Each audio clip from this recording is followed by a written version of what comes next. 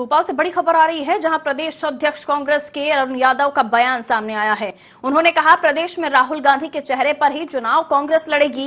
पंचायती राज दिवस पर पीएम मोदी की योजनाओं पर और अरुण यादव ने कहा, जूते चप्पल बांटना बंद करे बीजेपी सरकार। आदिवासी को उनकी मजदूरी पहले दे सरकार। अरुण यादव ने कहा, पेट्रोल, डीजल के दाम बढ़ाकर लोगों की जेब पर डाका डाला जा रहा है। पॉक्सो एक्ट में बदलाव को लेकर बीजेपी सरकार अपनी ब्रांडिंग कर रही है। सरकार के इस कदम पर अरुण यादव का बयान, उन्होंने कहा, प्रदेश में बेटियाँ सुरक्षित नहीं हैं और सरकार अपनी ब्रांडिंग में लगी है। जानकारी देंगे वैभव गुप्ता, मेरे सहयोगी फ़ोन लाइन पर बने हुए हैं। वैभव, यहाँ प्रदेश अध्यक्ष अरुण यादव का बयान, उन्होंने प्रधानमंत्री के आगामी प्रधानमंत्री के जो दौरे को लेकर कहा मंडला के दौरे को लेकर, जहाँ पंचायती राज दिवस पर उन्होंने निशाना साधा कि जूते चप्पल बांटना बंद करें। पेट्रोल, डीजल के बढ़ते दामों पर भी तंज और साथ ही साथ सुरक्षा व्यवस्था में पॉक्सो एक्ट में बदलाव को लेकर भी उन्होंने तमाम तरह की बातें कही। किस तरह से देख रहे हैं उनके बयान को?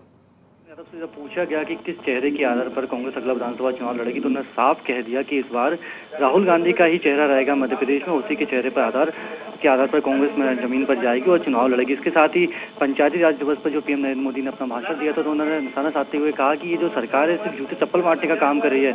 आदिवासी को उनका हक दीजिए, उनका मजदूरी दीजिए और आप उनका विकास करना चाहते हैं तो इसके साथ ही जो मध्य प्रदेश सरकार है, वो पॉस्को एक्ट में जो बदलाव है, उसको लेकर ब्रांडिंग करने जा रही है। तो यादव ने कहा कि ब्रांडिंग करने से क्या होगा?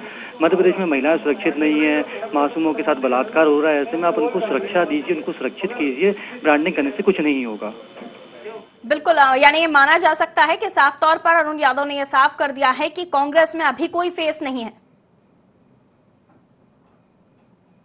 चलिए, शुक्रिया वैभव तमाम जानकारी के लिए। तो आपको बताएँ, भोपाल से खबर दे रहे थे, जहाँ कांग्रेस प्रदेश अध्यक्ष अरुण यादव ने कांग्रेस में फेस को लेकर, चेहरे को लेकर कहा कि कांग्रेस के लिए राहुल गांधी ही चेहरा होंगे। पंचायती राज दिवस पर प्रधानमंत्री की योजनाओं पर उन्होंने कहा कि जूते चप्पल बांटना बंद करे बीजेपी सरकार। पेट्रोल, डीजल के बढ़ते दामों को लेकर भी उन्होंने तंज कसा।